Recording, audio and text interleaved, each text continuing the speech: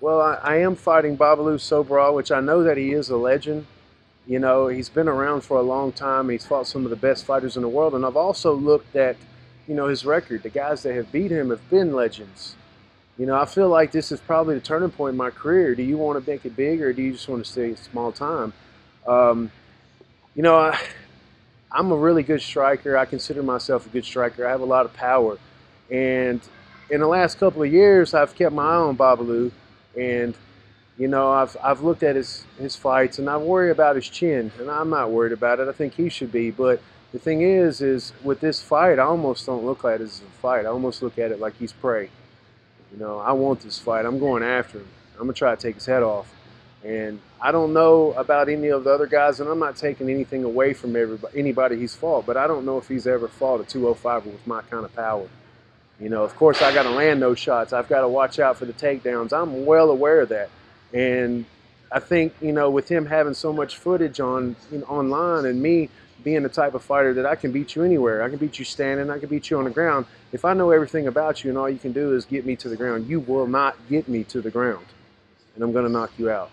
Well, my, my thoughts on the tournament and uh, about me rematching, you know, Seth Petruzelli or King Mo, I'll be honest, I, I've already beat Seth. I don't have anything to prove. I want Mo. And the reason I want Mo is because, you know, I know he's getting all the highlight, and I feel like I deserve that. I'm a hard worker. Nobody knows who I am, which is good. I'll be the sleeper. But at the same time, you know, I earned this. I deserve it. But, you know, if Seth beats him, that's fine. I'll give him that rematch. You know, the last time that we fought, he said that his knee gave out. It wasn't that long ago. That was in January. I don't know if he's had time to heal, but I don't want to hear any excuses. If I beat you, I beat you. Give me my respect. You know what I mean? Um, the thing about Seth, you know, I like the guy. I have nothing against him, but he just tries to be a comedian. You know, I'm not trying to be funny. I'm here to kick your ass. That's what I do. You know, so, you know, he can be funny and try to be nice guy all he wants, but, you know, when that cage door closes, man, it's business, you know, and if he wants that rematch, that's fine. I know he's going to probably bring a different game. Hell, he's been able to look at me and fought me himself, so he'll get a second chance at it. But if I beat him the first time in the first round, if it goes to the second, that's fine. It might, but I think it's going to be the same outcome. So, are you talking about the 205 division?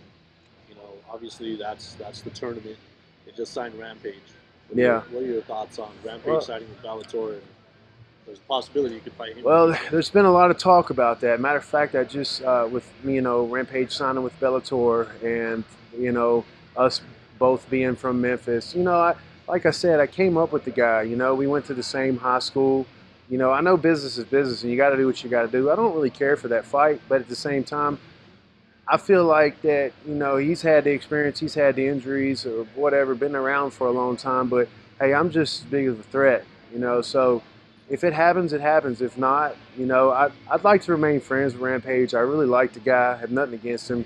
We both went to the same high school, Raleigh Egypt High School in Memphis, and we both know the same group of people. So it will cause a lot of controversy and a lot of stuff, a lot of our friends to be upset. But, you know, whatever happens is what happens. You know, I, I feel like I'm prepared for anybody, no matter who it is, especially being over here with this team. You know, they put together the best game plans, one of the best teams in America. So, you know, with my heart and determination, there's not anybody with their help that I can't beat. So I'm not really worried about it. I'm just going to take one fight at a time.